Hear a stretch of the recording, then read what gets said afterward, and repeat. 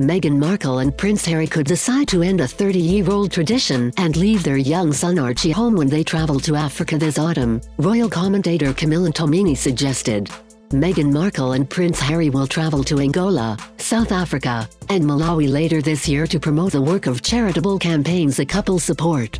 The Duke and Duchess of Sussex are believed to be considering whether their son Archie Harrison could accompany them to Africa in the autumn despite his young age as the boy will be around five months old around their departure date.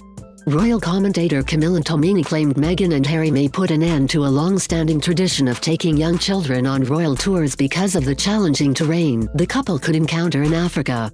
Speaking to 9 News, Ms. Tominey said, I think some the terrain is probably quite challenging, because he'll still be under one, he'll only be a few months old.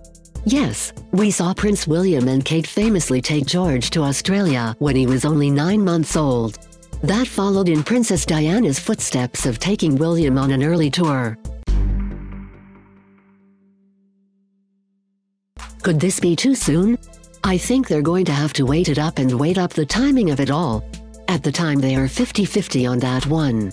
Prince William and Kate, Duchess of Cambridge visited Australia with a nine-month-old Prince George in 2014. The Duke and Duchess of Cambridge followed in the footsteps of the Prince and Princess of Wales, who went on a tour of Australia and New Zealand when William was less than one. Meghan Markle and Prince Harry are however expected to pay tribute to Princess Diana's legacy in Angola. The Duke is said to want to fulfill some of his late mother's work and is keen to spend a prolonged period of time in Africa after visiting the Cuando Cubango region in Angola in 2013.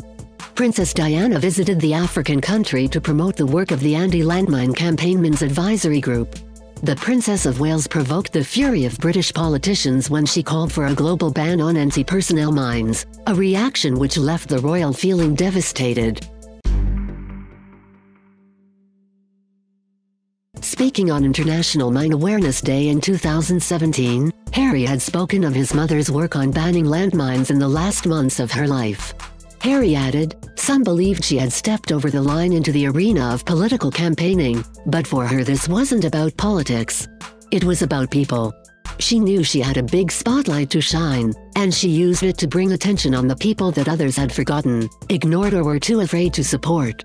Moreover, in tribute to her grandson, the Queen appointed Harry as a Commonwealth Youth Ambassador last year in a sign of his importance in the Queen's legacy.